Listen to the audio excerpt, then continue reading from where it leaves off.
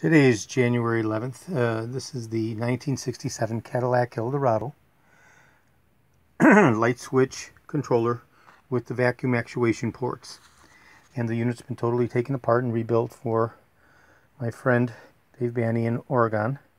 And uh, I'm going to go ahead and show how the push-in rod is attached. It's very important that this be attached properly uh, before the mechanism internally is slid out of position.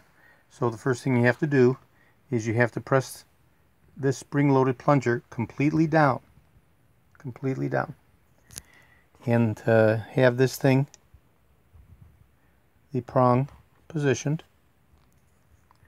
And then as you're pressing completely down,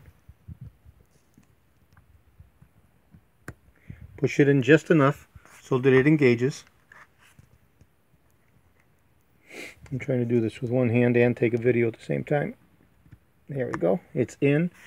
And then I pull a little bit outwardly until I hear the snap. And now I know that I'm fully engaged. And now I can go ahead and I can actuate the bar.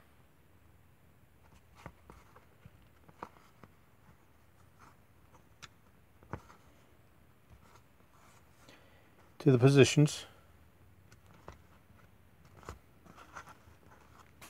As required in accordance with the uh,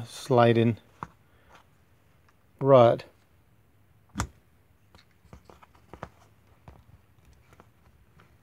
Okay, so, and to remove the rod, similarly, the same takes place. Pull it all the way out. Make sure you're pulled all the way out, having snapped in all three positions.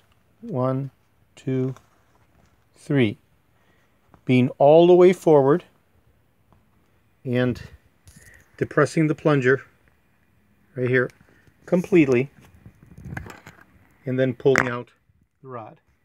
So again, very important. Upon inserting the rod, do not insert it and push in because you'll slide the mechanism